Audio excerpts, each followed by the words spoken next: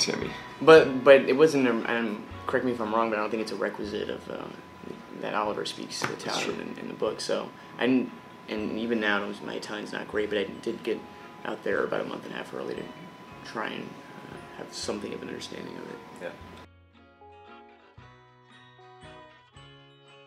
They're fun things to like say to Luca in the way he would say them. Yeah. My favorite Italian word for God. some reason is quindici, which is just the number 15. 15. But I just like the way the quindici, like there's like a diphthong in there, you get like a qua, you get like uh, all these, like a ch, no, there's all these different noises in it. Quindici. I just think that it's a great Italian word. Bellissimo. That's a good one too.